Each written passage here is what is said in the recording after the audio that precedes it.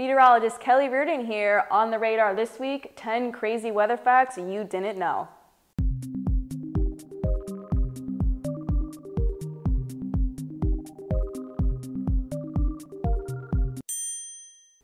The record number of tornadoes in just one day in the U.S. is a whopping 218.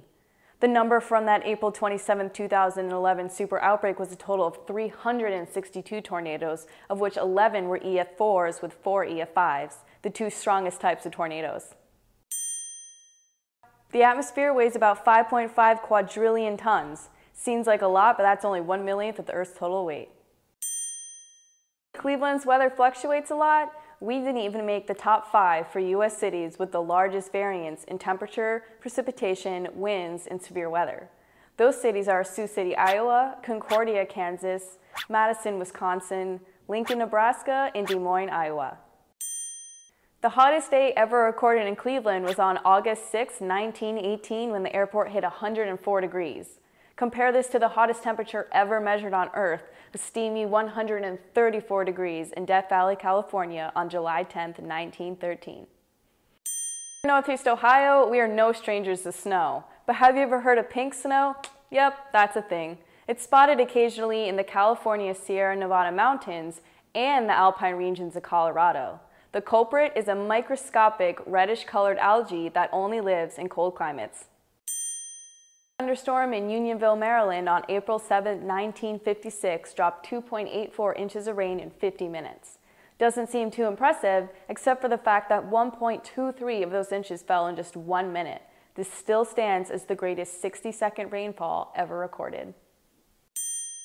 Sharknado might be a ridiculous movie, but the concept isn't completely out of the realm of possibility.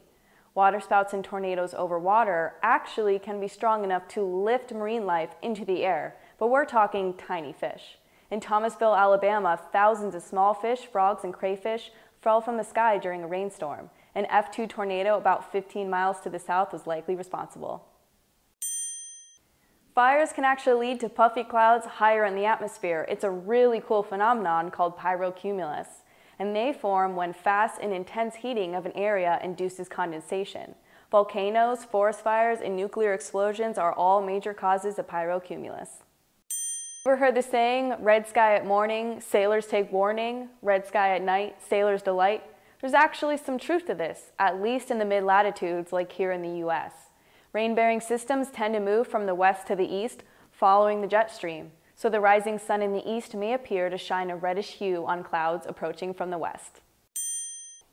This fun fact is more debunking a myth. I'm sure you've heard that a car is a safe spot during a thunderstorm because of the rubber tires. While an enclosed vehicle is a safe spot, it's because of the big metal cage around you. If struck by lightning, the charge will surround the car and protect you as long as you are not touching any metallic surfaces inside.